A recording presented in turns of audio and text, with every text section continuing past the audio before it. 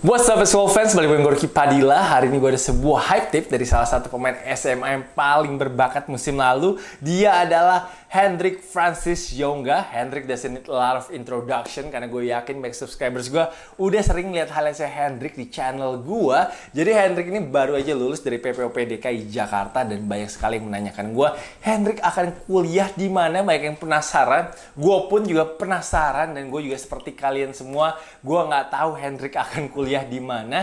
Karena kita tahu sekarang ini lagi masa pandemi, jadi gue kemarin terakhir ngobrol sama Hendrik pun, dia masih bingung antara mau stay di Jakarta atau mau keluar negeri.